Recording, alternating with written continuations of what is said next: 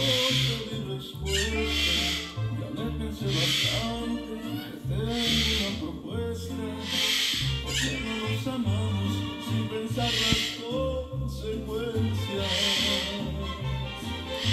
Ya digan lo que digan, y que pase lo que tenga que pasar.